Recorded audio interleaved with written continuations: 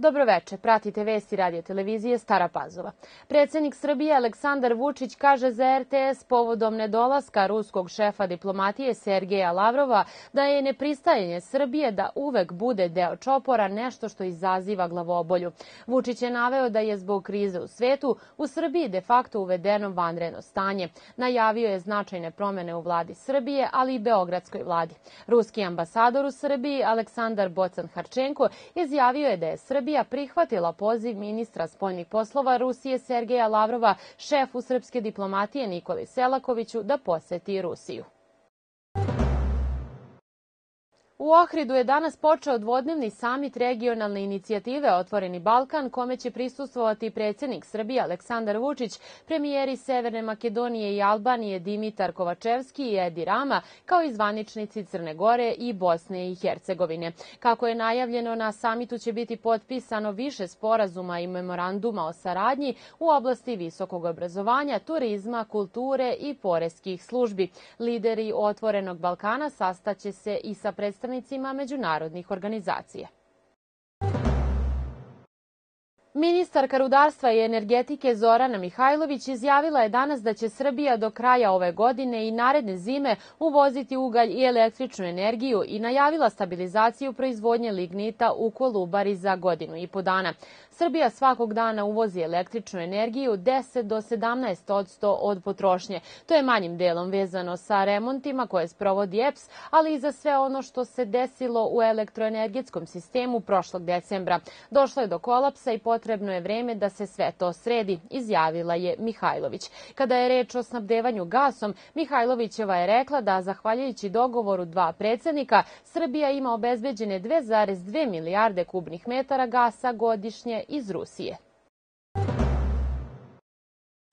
Za stabilnost Evrope važno je da region Zapadnog Balkana ubrza proces pristupanja Evropskoj uniji, izjavio je danas predsednik Skupštine Srbije Ivica Dačić na međunarodnoj konferenciji Evropska unija kao strateški izbor iskustva Srbije i Rumunije u organizaciji Western Balkan foruma i Centra za spoljnu politiku i istakao da ideja Evropske unije treba da bude bensedin za regionalne probleme i nada se da će, kako kaže, stvari rešavati mirno i da će region imati bolju budućnost.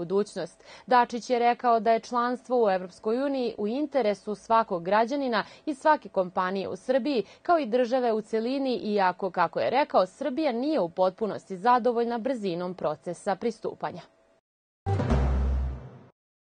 Ministar financija Siniša Mali izjavio je da je Srbija dobitnik nagrade Pionir u oblasti zelenog finansiranja u kategoriji država za 2021. godinu. Kako je saopštilo Ministarstvo financija, Mali je rekao da je ta nagrada veoma značajna za nas jer nas svrstava u ekološki odgovorne države sveta i da pokazuje da država odgovorno vodi svoje građane putem napretka. Povodom 5. juna, Svetskog dana zaštite životne sredine, dodeljene su nagrade najuspešnijima u programu za čistije i zelenije škole Vojvodine. Ove godine nagrađeno je ukupno 46 vaspitno-obrazovnih ustanova iz 27 opština u Vojvodini, ali i 7 nastavnika vaspitača. Jedina nagrađena škola iz opštine Stara Pazova ove godine je škola za osnovno i srednje obrazovanje Anton Skala.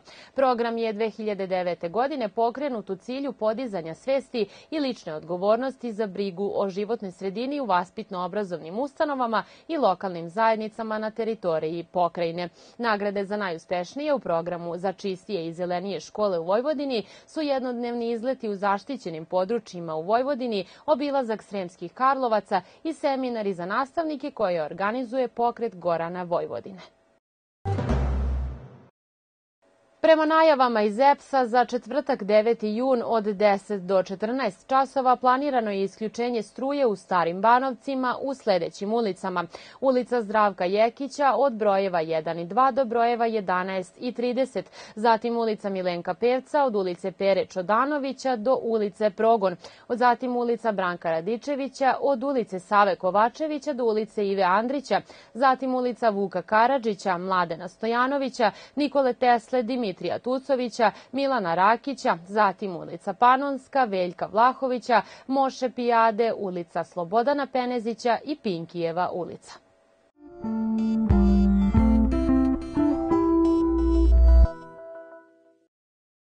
Sutra u većem delu zemlje nestabilno sa kišom i pljuskovima, grmljavinom i uslovima za lokalnu pojavu nepogoda sa jakim pljuskom i gradom.